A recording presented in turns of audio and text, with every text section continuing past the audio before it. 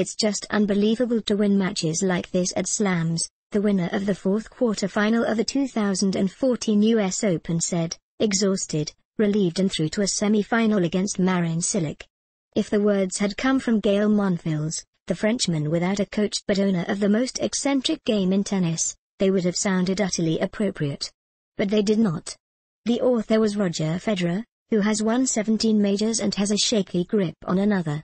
Rarely has he looked simultaneously so wrecked and so jubilant.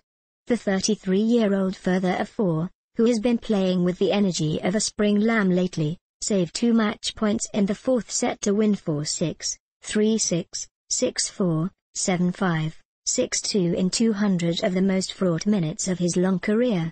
I have won other big ones in other places, he said. But oh, over best of five, saving match points against Gael in an atmosphere that it was out here tonight, it's definitely very special. They kept the audience enthralled into the small hours, and it was difficult